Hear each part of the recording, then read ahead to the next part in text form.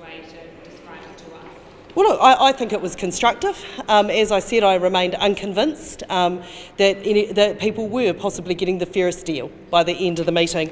And I, I did tell BP at the end of the meeting um, that I still wasn't convinced that New Zealanders were getting a fair deal. But I think it was a constructive meeting.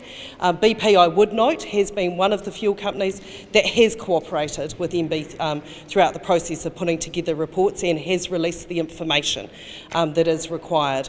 so I did say say that we had appreciated that behaviour from them in the past and we'd look for that behaviour continuing into the future. Um, it, it, yes, it was a robust meeting. Um, I think it was constructive but robust. So Well, one of the things that, um, when I first became minister, is that I asked officials to come to me with a range of um, regulatory interventions that we could make while we waited for the Commerce, uh, for the Commerce Act amendments to go through to give the market studies powers to the Commerce Commission. But one of the problems that we've come up against is that it's impossible to do the cost-benefit analysis on those regulatory reforms without having all the information. So we're caught in a bit of a catch-22.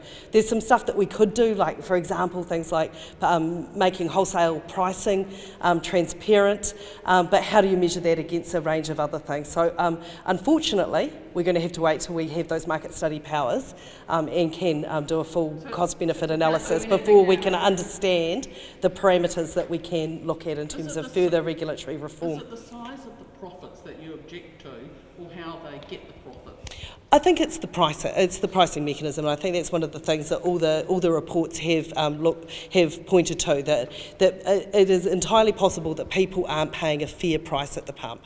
I take this back to the individual that goes up and fills up their car, and whether or not they're paying a fair price. No one wants to think that they're paying a different price 20k down the road um, um, than they would be at another, another point. We need to have that kind of certainty that people um, are paying a fair price when they fill, when they fill up their car.